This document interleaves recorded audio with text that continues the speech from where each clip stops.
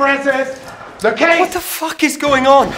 Wouldn't do that. Concierge, camera, direct line to the cops. Unless, of course, you want to have a chat with the cops. But if not, I think it's fuckity bye time.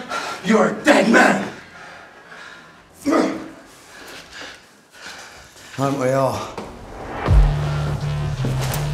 Apologies for the melodrama. Did that guy call you Francis? Who are you? Uh, I'm Finn. Your nephew.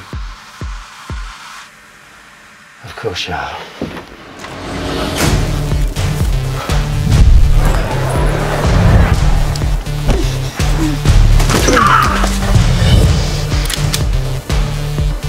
Unfortunately, you've uh, chosen a rather inopportune time to visit.